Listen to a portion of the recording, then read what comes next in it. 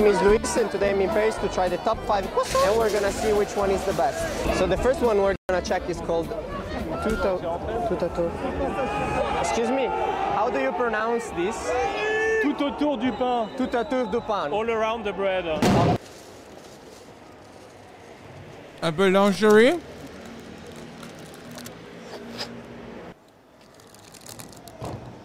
It's very cute inside, it's cute and little. They offer some coffee from the coffee machine.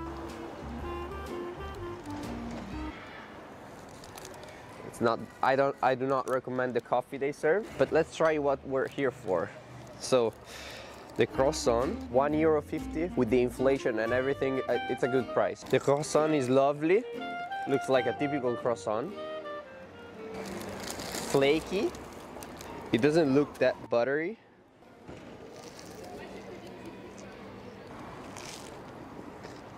It's very fluffy and crunchy, which makes it very good. It's more like a, a normal neighborhood bakery. So the next one is called Carton.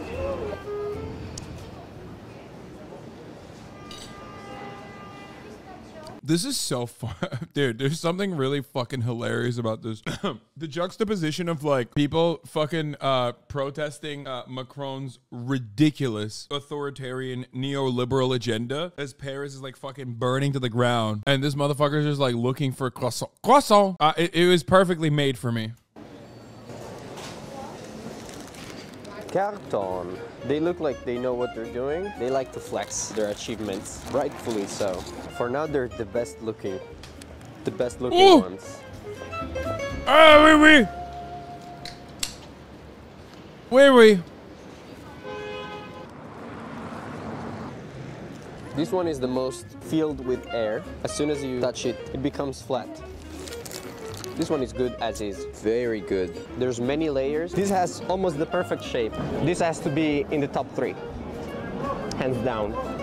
This was very modern with the Instagram followers counter, but the area, the area is not the best. I mean, there's a Subway, there's a pub right here, there's a Popeye's chicken, there's a train station. And usually in Europe, where there's a train station and a McDonald's, there's no good people. It's very hard to find good quality in an area like What? this touristic, you know? So it's it's good that there's a place like this. The next one is uh, called Stohrer, or Stohrer, and it's the oldest one. Stohrer, Stohrer, Stohrer. Poor equals It's bad. probably the No, the motherfucker. Wait, what? No, no. was founded in the No. 1730s. No, I'm gonna. I don't know anything about this dude's politics. That's not what he's saying at all. First of all, I love that you think Popeyes equals poor people. Okay, not in Europe, dumbass. Talking about tourists. He's talking about like this area is a tourist area. It's like American food. American food being sold means that it's a tourist area. Which means, like, you know, it's not exactly the best uh, area to go to. Looks pretty classic. Looks very buttery, not that flaky. See, it doesn't lose too many flakes. Mmm. Mmm. It's very thick. That's the thing. Very buttery, very tasty. I don't want to say I'm disappointed with the Stohrer one, but it, it's the most normal one. I mean, it's the texture, the, the look. It's probably the one that your grandmother loved. The location, I mean, it's pretty unique. 300 years old, but the area is very, very, very touristic. So it doesn't look like a place where you will go on a daily basis. It's more of a historic place. Yeah, as I said, this is not the most interesting one because it's it's a little thicker than the other ones. It doesn't have all those layers that the other ones have, but it's still very good. It's a it's a normal good croissant. The next we're gonna visit is called Du et des Idées. So now we're at the Boulangerie du Pain et des Idées. Very cute, very old. It looks like a, a jump in the past, you know? So the inside is very 1900 Liberty style. So let's try this one. This was a little bit more expensive.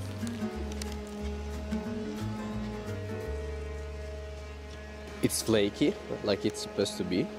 It looks like it's got a cheesy crust. I like the that it's not perfect, you know, the shape is not perfect. It reminds me on on how not perfect the, the pizza napoletana. You know, it's not a perfect A pizza shape. napoletana. And this is the same. Wow. You can definitely taste more of a vanilla. Probably they, they put some egg yolk on top and that makes it so good. This is good as is, you know? You don't need anything else. You don't need a cappuccino. You don't need to dip it in milk because it's not dry. You know, there's, there's the right amount of butter. It has a little bit of a vanilla taste to it. It's creamy, kinda, but there's no cream inside, you know? And probably that's the, the effect that the, the egg gives it. It's so messy eating this. The birds in Paris seems to know when, when you have a croissant, they come to you because they know there's gonna be crumbs. The next one is Cédric Grolet Opera. Sorry for my French. I'm not. I'm not French. Um, Cédric, Cédric Grolet Opera. So there's a huge line. So I asked the, the guy on the door, do they still have croissants? No more croissant, no more croissant. No more croissant? Okay. They said to come tomorrow morning. I'm not gonna come tomorrow morning. They finished all the croissants, so we left. So we're not gonna know how to place them in the rating. Too much work for a croissant. I cannot judge it, so it's gonna be a question mark. I don't know. It's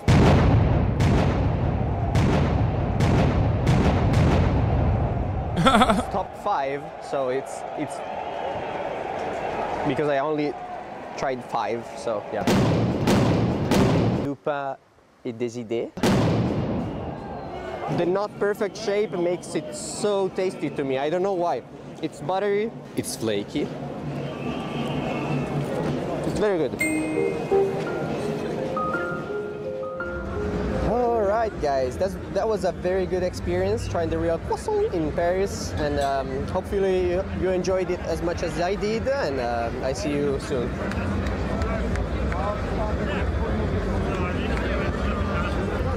That was awesome. It was so stupid, but so funny. Tax les riches. It's not stupid. Fuck you. What do you mean? No, it is stupid. What, what the fuck are you talking about? That's why it's funny. The juxtaposition is kind of dumb, which makes it funny.